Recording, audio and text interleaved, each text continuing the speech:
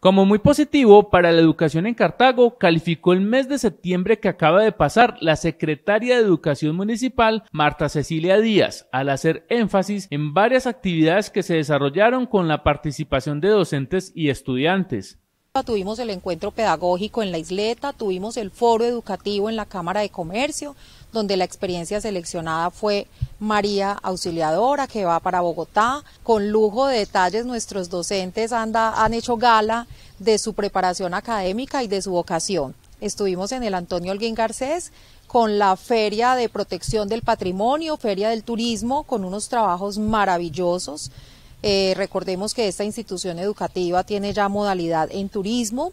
Aquí en la institución Indalecio Penilla Industrial hemos vivenciado la Feria de las Posibilidades, donde los jóvenes tuvieron acceso a unos talleres para orientación de sus proyectos de vida. Veinte instituciones hicieron presencia en esta institución y también tuvieron visita de instituciones externas que pudieron no solo ver la oferta de los institutos y universidades, sino la oferta de esta institución educativa con sus cinco talleres, entre los que se destacan metalistería, construcciones civiles, ebanistería y otros que se vislumbran desde el proyecto educativo institucional. Precisamente una experiencia presentada por la institución educativa María Auxiliadora fue la ganadora del Foro Educativo Municipal y adquirió el derecho de representar a la ciudad en la siguiente fase. Bueno, en la institución educativa María Auxiliadora eh, se está dando un énfasis en pensamiento crítico, un énfasis que en esta experiencia las docentes de primaria han mostrado y que hace gala también de esos valores franciscanos. Para nosotros desde Secretaría de Educación es un orgullo que esta institución vaya a representarnos en Bogotá.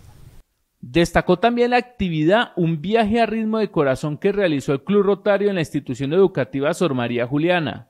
También ha sido un mes en materia social muy productivo, ya que el Club Rotario ha hecho presencia en nuestras instituciones educativas con actividades que buscan la prevención y la detección de problemas cardíacos en niños y jóvenes para realizar esta labor social tan maravillosa. El Club de Leones también viene realizando actividades en nuestras instituciones educativas, la Universidad Cooperativa con sus equipos de practicantes en diferentes áreas hace presencia en los colegios, entonces es importante destacar hoy la relación que tiene la Secretaría de Educación con diferentes entidades públicas y privadas de nuestra ciudad. Estas acciones que se realizan en conjunto con todas las entidades del sector permite que se mejore cada día la educación en la ciudad.